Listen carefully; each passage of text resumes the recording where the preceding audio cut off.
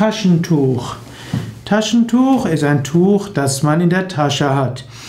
Aber im weiteren Sinne oder heute gebrauchten Sinne ist Taschentuch ein kleines Stück Stoff oder auch ein kleines Stück Papier, mit dem man insbesondere die Nase putzen kann.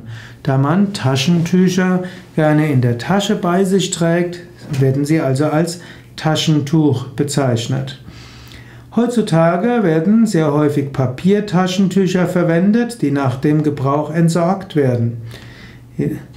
Früher waren üblich waschbare Stofftaschentücher. Es gab eine Weile eine große Auseinandersetzung, sind Stofftaschentücher besser oder auch äh, Papiertaschentücher. Man kann sagen, es spielt nicht die ganz große Rolle. Die Verfechter der, der, Papiertaschentücher meinten oft, man würde sich immer wieder neu anstecken, wenn man das Taschentuch nicht anschließend wegwirft. Aber es hat sich gezeigt, Menschen, die Stofftaschentücher verwenden, sind nicht kranker als andere und stecken auch andere nicht mehr an.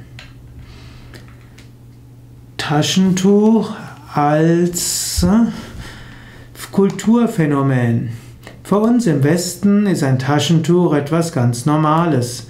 Man trägt, man schneuzt sich die Nase und anschließend wirft man es weg als Papiertaschentuch oder man nutzt es für eben, um es anschließend wieder in die Tasche zu tun. Taschentücher waren früher durchaus auch Luxusartikel. Im 15. und 16. Jahrhundert wurde das Taschentuch eher verwendet als Luxusartikel des Adels. Natürlich, die Bürgerlichen haben dann später das Taschentuch weiterentwickelt. Taschentücher wurden auch besonders schön angesehen und es gab sichtbare Taschentücher, reich verzierte Taschentücher. In anderen Kulturen sind Taschentücher gar nicht so populär. Hm, zum Beispiel galt auch in früheren Zeiten hm, das öffentliche Schneuzen mit Taschentücher gar nicht allzu hilfreich.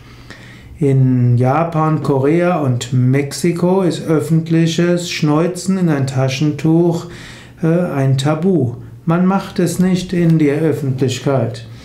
Dagegen gilt in diesen Regionen das Hochziehen des Schleims als Körperbeherrschung und darf ohne weiteres in der Öffentlichkeit erfolgen. Im Westen gilt oft das Hochziehen des Schleims als unanständig, während das Schneuzen in ein Taschentuch als unanständig.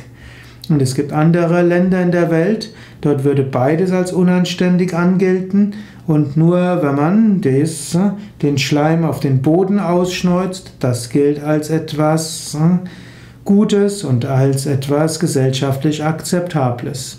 Wie man also mit dem Nasenschleim umgeht, das ist in unterschiedlichen Kulturen unterschiedlich.